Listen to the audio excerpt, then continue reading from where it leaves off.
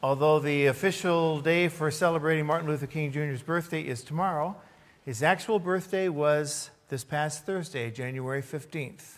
And if he were still alive, he would be 86 years old.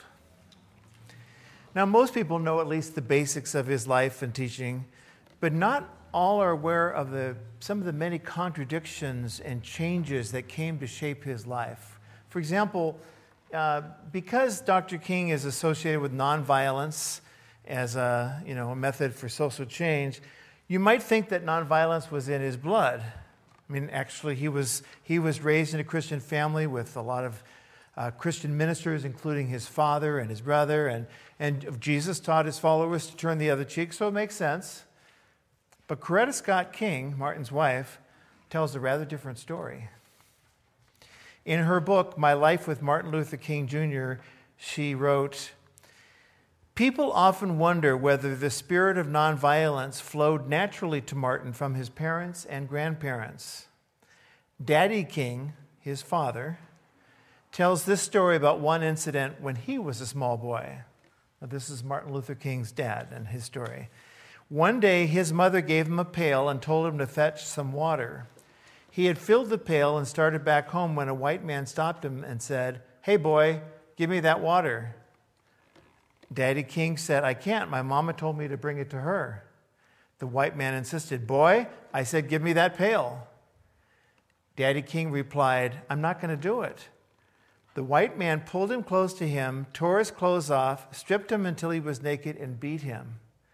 And when Daddy King went home and told his mother what had happened, the first thing she said was, You must swear to me that you will not tell your papa about this, because if you tell him, he'll kill that white man. She then picked up the club and went out and beat the man herself. and Coretta Scott King concludes As you can see, the spirit of nonviolence was not inherited from Martin's family. What Martin did learn from his family was something we referred to when we were reciting his words in the hymn book as the responsive reading after the lighting of the chalice. There are some things in our social system to which all of us ought to be maladjusted. Now, his father taught him that uh, you don't need to accept injustice. You need to know about it, know how to deal with it effectively, but you don't have to pretend it's okay. And he tells this story in his autobiography, which um, I do I recommend if you've never had a chance to read the autobiography of Martin Luther King Jr., or if you haven't haven't for a while. Reading this humanizes him. You see the real issues he was going through, uh, some of his misgivings, uh, the mistakes he made, etc. It's a wonderful read. Anyway, in this book, uh, he tells this story. He says, I remember a trip to a downtown shoe store with father when I was still small. We had sat down in the first empty seats at the front of the store. A young white clerk came up and murmured politely, I'll be happy to wait on you if you'll just move to those seats in the rear. Dad immediately retorted, There's nothing wrong with these seats. We're quite comfortable here. Sorry, said the clerk, but you'll have to move. We'll either buy shoes sitting here, my father retorted, or we won't buy shoes at all. Whereupon he took me by the hand and walked out of the store. This was the first time I had seen Dad so furious. That experience revealed to me at a very early age that my father had not adjusted to the system, and he played a great part in shaping my conscience. I still remember walking down the street beside him as he muttered, I don't care how long I have to live with the system, I will never accept it. And he never has. I remember riding with him another day when he accidentally drove past a stop sign. A policeman pulled up to the car and said, All right, boy, pull over and let me see your license. My father replied indignantly, I'm no boy. And then pointing to me, he said, This is a boy. I'm a man. And until you call me one, I will not listen to you. The policeman was so shocked in hearing a Negro talk to him so forthrightly that he didn't quite know how to respond. He nervously wrote the ticket and left the scene as quickly as possible. So Martin learned from his father not to accept injustice. And you might be forced to put up with things that are unfair, uh, but you don't have to pretend it's okay. There are some things in our social system to which all of us ought to be maladjusted. So that's something he learned growing up.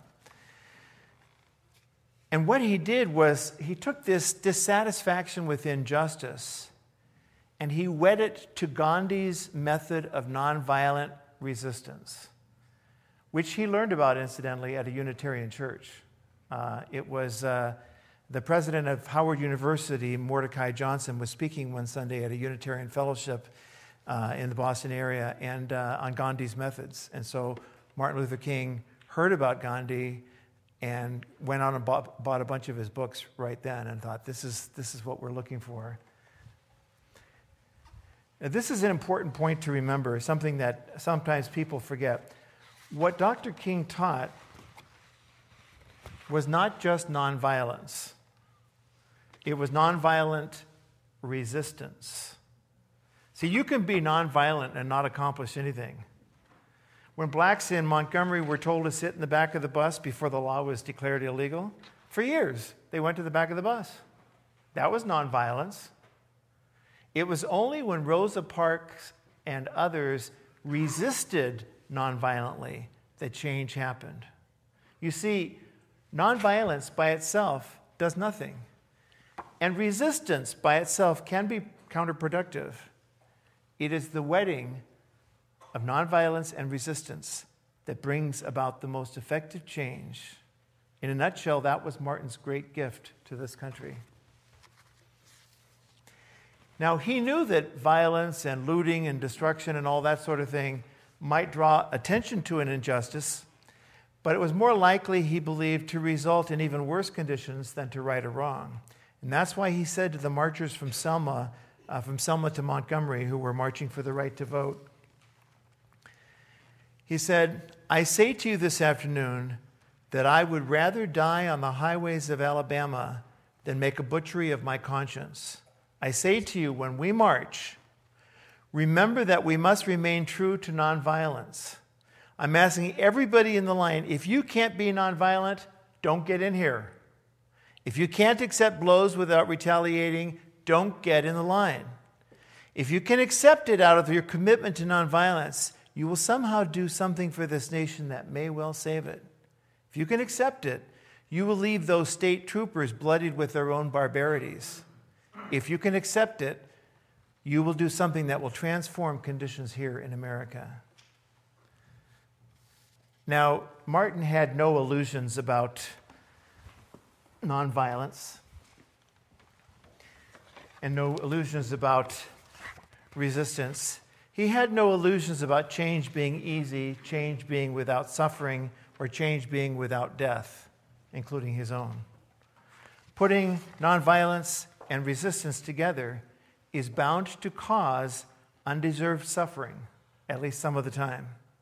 But that undeserved suffering can be redemptive if it leads people of conscience to say, that isn't right. No one should have to suffer because of the color of their skin or on account of their race or nationality or for their faith or religion or gender or orientation or disability. But it often takes seeing the suffering to come to that conclusion. That's why Dr. King could say, We must not return violence under any condition. I know this is difficult to follow. This, this is difficult advice to follow, especially since we have been the victims of no less than 10 bombings. But we must somehow believe that unearned suffering is redemptive. That's, that's really what he was saying with his life. And he paid for it with his life. But even his death, his death brought redemption to this country no less than Jesus's or Lincoln's or Gandhi's. As King once put it, a person who won't die for something is not fit to live. If we are not willing, willing to take on the pain, the hardship, the insults, the suffering, the inconvenience, and yes, potentially even death itself, then don't get in the line. Nothing important comes easy, there's always risk. And that's why Dr. King was very careful to say that when a law is unjust, it is okay to break it. In fact, it may be your moral obligation to break an unjust law. But he said that is not the same as evading the law. In his letter from a Birmingham jail, he wrote, One who breaks an unjust, unjust law must do so openly, lovingly, and with a willingness to accept the penalty. I submit that an individual who breaks a law that conscience tells him is unjust and who willingly accepts the penalty in order to arouse the conscience of the community is in reality expressing the highest respect for law. Whatever you do for justice, if it's at all controversial, there will be penalties to endure and inconvenience to suffer. If you can't handle it, don't get in the line. Not only that, but he said there, there's never really a good time to make a change. And people will always tell you, it's too early, uh, the time isn't quite right, wait until this happens, or wait until those people are convinced, or wait until all these other conditions are in play. You can try to do that, but there will never be a time when a transformation of any significance occurs without conflict, consternation, or controversy. If it could have, it already would have. Frankly, he said, I have yet to engage in a direct action campaign that was well timed. For years now, I've heard the word wait. It rings in the ear of every Negro with piercing familiarity. This wait has almost always meant never. We must come to see with one of our distinguished jurists that Justice too long delayed is justice denied. If you're waiting for the perfect time, don't get in line. And as for those who want change without tension, you know, change is just kind of nicey nice. Everyone's kind of happy and blissful. King's words are instructive. He says, I am not afraid of the word tension. I have earnestly opposed violent tension but there is a type of constructive, nonviolent tension which is necessary to growth. And actually, he said, we who engage in nonviolent direct action are not creators of tension. We merely bring to the surface the hidden tension that is already alive. We bring it out in the open where it can be seen and dealt with, like a boil that can never be cured so long as it's covered up but must be opened with all its ugliness to the natural medicines of air and light.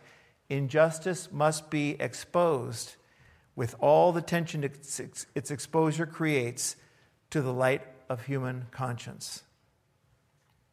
If you don't like tension, don't get in line.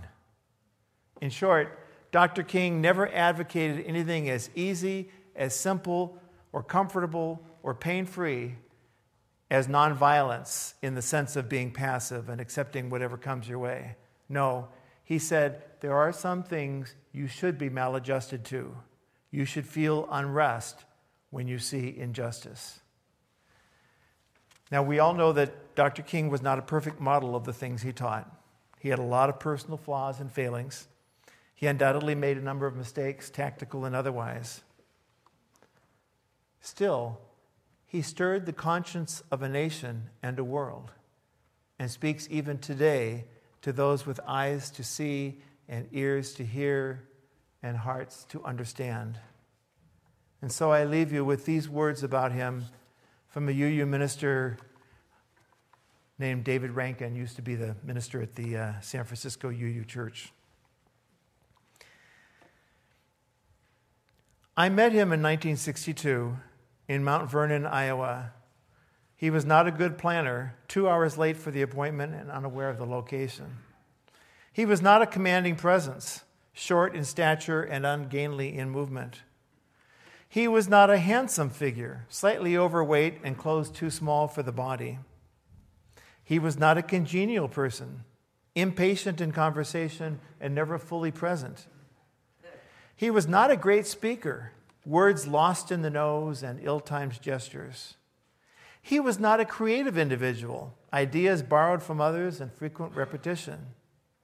He was not a happy character, wide, mournful eyes and lips not made for smiling. But if God appeared anywhere in the 20th century, it was in the form of Martin Luther King Jr.